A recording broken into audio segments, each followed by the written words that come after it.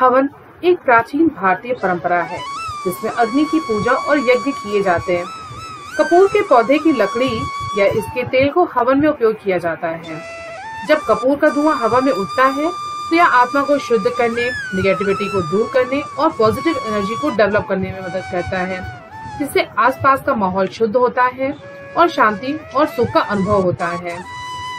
Hello friends एक बार फिर से आपका स्वागत है आपके अपने चैनल हमारा बगीचा में।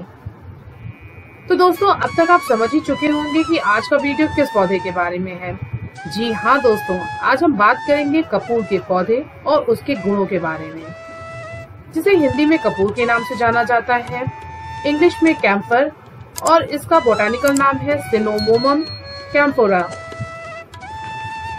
यह दालचीनी की फैमिली का पौधा है, जिसकी पत्तियाँ बिल्कुल दालचीनी के जैसी दिखाई पड़ती हैं। इसके शक्तिशाली गुणों के कारण यह स्वास्थ्य स्किन केयर और मसालों में उपयोगी होता है। यह पौधा धार्मिक और सांस्कृतिक महत्व के साथ ही घरेलू उपयोगों में भी उपयोगी है। इस पौधे की सुगंधित हरी पत्तियों में एक खास खुशबू होती है, जो इसे विशेष औषधीय गुणों से युक्त बनाती है। जब इसकी पत्तियों को हम हाथ से मसलते हैं तो हमारे हाथ कपूर की खुशबू से भर जाते हैं। वैसे तो कपूर का पौधा अपने गुणों से भरा होने के कारण इसके बारे में जितनी तारीफ़ की जाए कम है।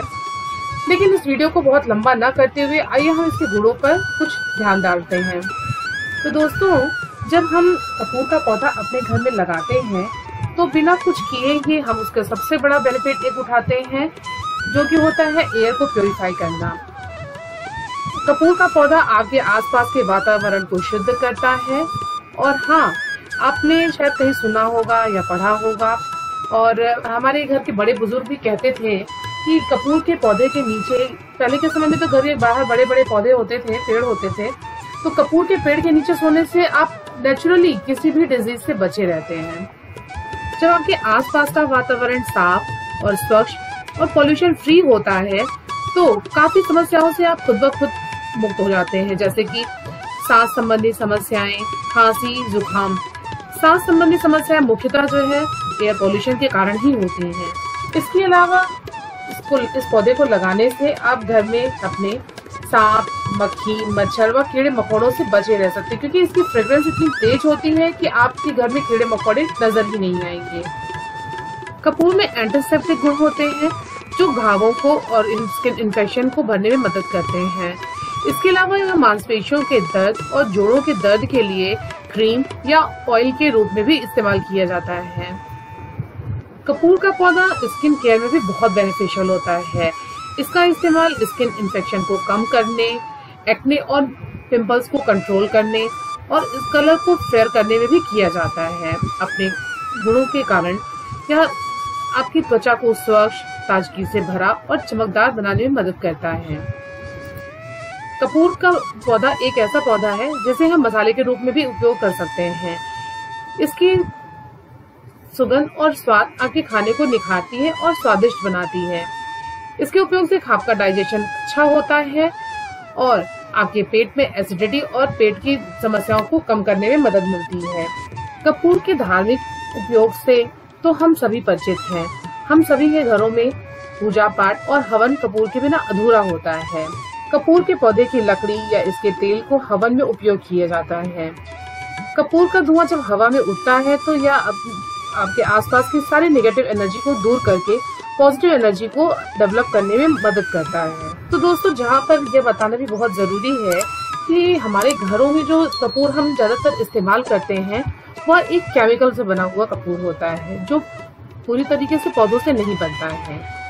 कपूर मुख्यतः दो तरीकों से बनता है। एक वह जो केमिकल से मिला को मिलाकर बनाया जाता है, दूसरा देसी कपूर जो पेड़ों की छाल व लकड़ियों से निकलने वाले तेल से बनाया जाता है। तो दोस्तों, जैसा कि आपको पता चल गया होगा कि कपूर का पौधा एक आपके लिए कितना ही बेनिफिशियल प्लांट है, जो कि हर घर में होना ही चाहिए।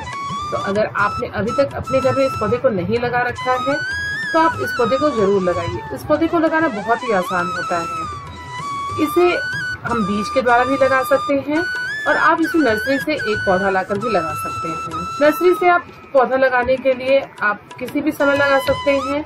और अगर आप बीज से लगाना चाहते हैं तो उसके लिए अभी जैसा कि बारिश का टाइम आने वाला है, ये सबसे बेस्ट टाइम होता है बीज को लगाने के लिए। और अगर आप नर्सरी से पौधा लाकर लगाना चाहते हैं तो नर्सरी से पौधा लाकर लगाने के लिए आप एक हल्की मिट्टी बनाएँ किसी भी पौधे के लिए पानी रुकना अच्छा नहीं होता है। हर पौधे को अच्छे ड्रेनेज वाला मिट्टी चाहिए होता है।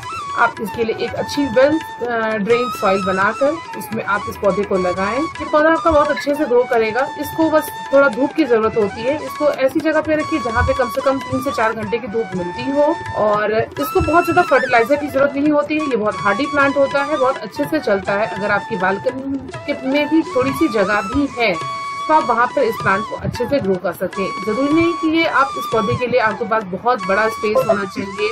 और आपको ज़मीन में ही लगाएँ। इस पौधे को आप गमले में भी आसानी से ग्रो कर सकते हैं। तो आप इस पौधे को ज़रूर लगाएँ। अंत में कपूर पौधे के कुछ घरेलू उपयोगों के बारे में बात करते हैं। इसे मच्छरों को भगाने के लिए उपयोग किया जा सकता है। इसकी सुगंध मच्छरों को दूर रखती है और उनसे बचाव करती है। इसे घर में उपयोग करके आप अच्छी नींद पा सकते हैं और अपने डिप्रेशन को कम कर सकते हैं। तो दोस्तों, यह थी कपूर प्लांट और उसके कुछ बेनिफिट्स के बारे में एक इंटरेस्टिंग वीडियो कपूर का प्लांट एक ऐसा प्लांट है जिसे स्वास्थ्य से लेकर स्किन केयर और मसालों तक बहुत सारे बेनिफिशियल गुण होते हैं। अगर आपको यह वीडियो पसंद आई हो तो प्लीज़ हमारे चैनल को सब्सक्राइब करें और बेल आइकन को दबाएँ ताकि आप हमारे आने वाले इंटरेस्टिंग वीडियो से अपडेट रहें। आपको हमारा ये वीडियो कैसा लगा? अगर आपको इसमें कुछ भी जानकारी मिली हो और कुछ भी आपको नई बात पता चली हो तो प्लीज़ हमें कमेंट करके हमें ज़रूर बताएँ। Thank you for watching